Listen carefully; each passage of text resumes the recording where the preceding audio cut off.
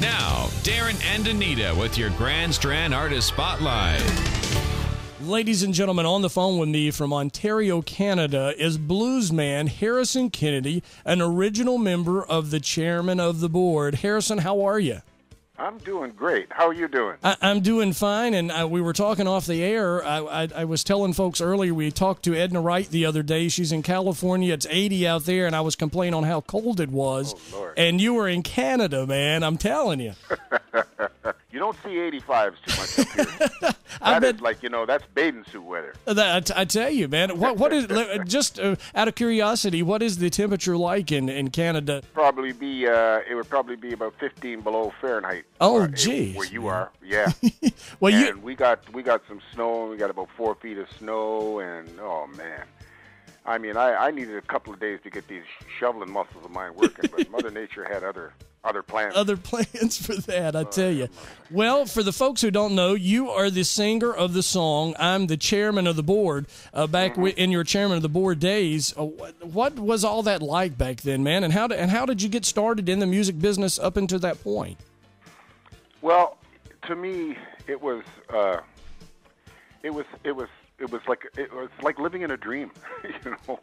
Um, you know, you don't think in your wildest dreams that you would end up um, with uh, with with Motown, right? Uh, with Edward Holland and Lamont Dozier and Brian Holland, and to me, I just felt so blessed.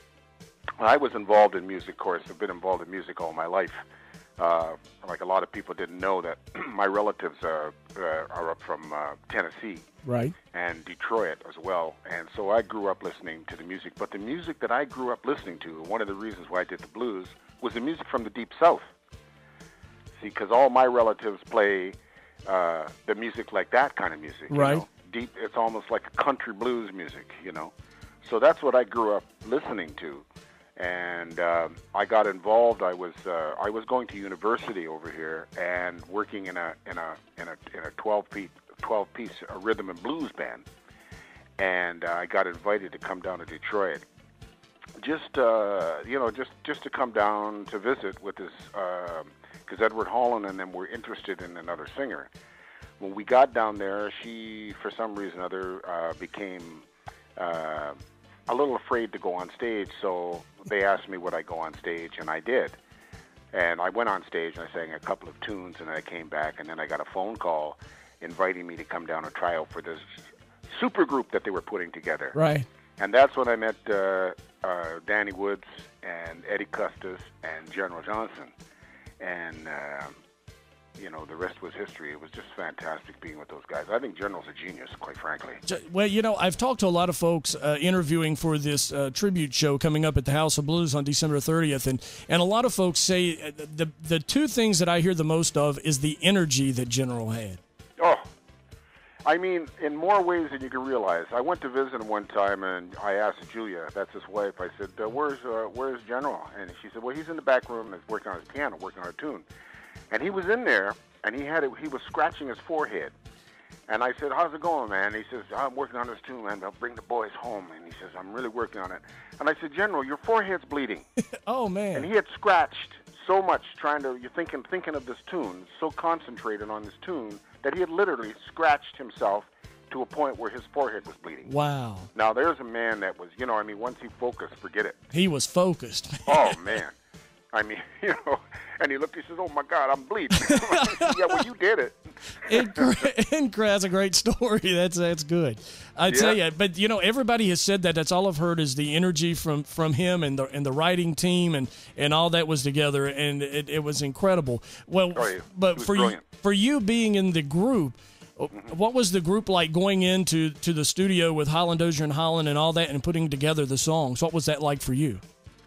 Well, for me, it was. Uh, I felt like I was going to school, you know, because these were all brilliant people, and and what I, I appreciated was the fact that they had a, a work ethic, you know, that was uh, uh, something that I could relate to right. because I was brought up that way. That you want something, you have to work for it. Right to get and it. And I really appreciated the fact that uh, you know it took all the the glitz and glamour that everyone sees. You see that on the stage, and that is for the people God bless them.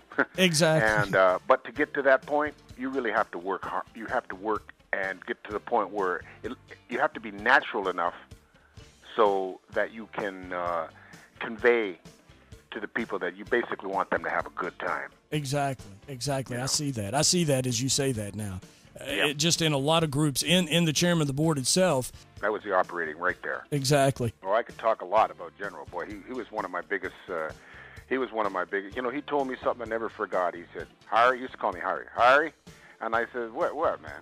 And he said, "When you're writing, write for the masses.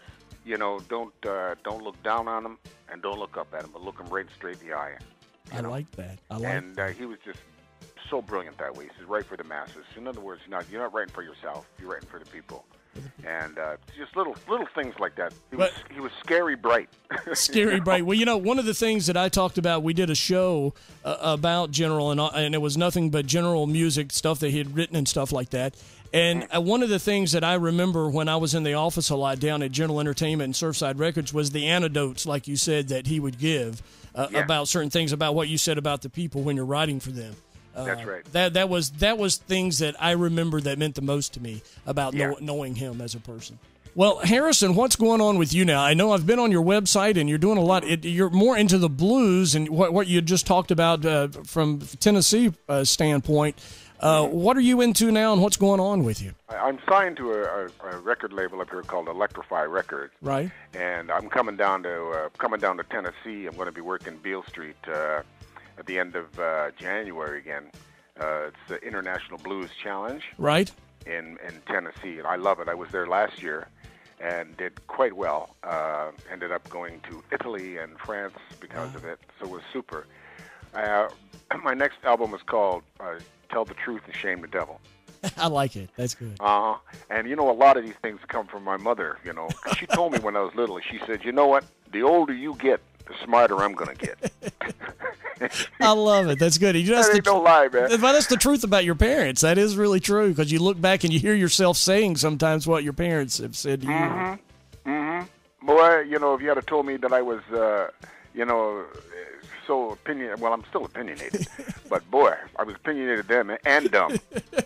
I was man. definitely dumber than my mother. I know that for Oh, sure. that's great, man. I also do like I have I have two bands. I have a rhythm Okay. and blues band as well. Like I like I do some Ray Charles and Stevie Wonder, and I can't get away from that stuff, man.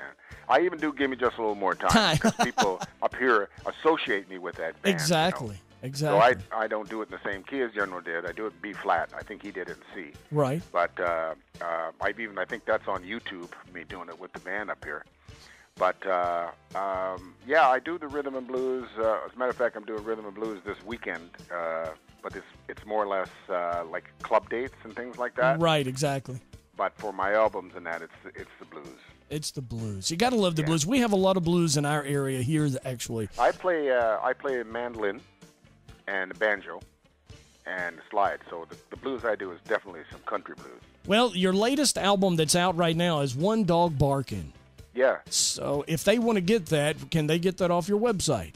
they can uh, they can go to the website uh, or they can uh, try Electro-Fi Electro-Fi Records, All right. and uh, they have it there. But if they go to the website, they can uh, they'll see the information how to how to how to pick it up. How to get it and purchase it. Uh huh. All right, well, Harrison, I tell you, won't keep you and let you get back to your day. And we look forward to seeing you on December the 30th in Myrtle Beach, South Carolina at the House of Blues, where the chairman of the board remembers General Johnson. It's an honor to be invited, and thank you very much. Harrison, I enjoyed it so much. If there's anything you would ever like to come on and talk with us about and let our folks know about, please do so. Thanks for having me. Stay warm. Grand Strand, a music evolution.